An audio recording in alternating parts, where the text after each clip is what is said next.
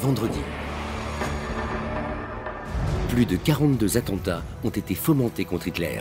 Dans les jours les plus sombres du Troisième Reich, il y avait encore des gens qui étaient prêts à se lever, et au prix d'un risque énorme, à agir. Le gros problème qui se pose à tous les assassins, c'est d'accéder à Hitler. Des modes opératoires inattendus, des héros oubliés, une histoire méconnue. Stauffenberg était la clé de voûte de l'opération. Il m'a expliqué tout ce qui était prévu. Cet attentat était lourd de sens. Deux documentaires inédits. Soirée spéciale Complot contre Hitler, vendredi à 20h45 sur RMC Découverte.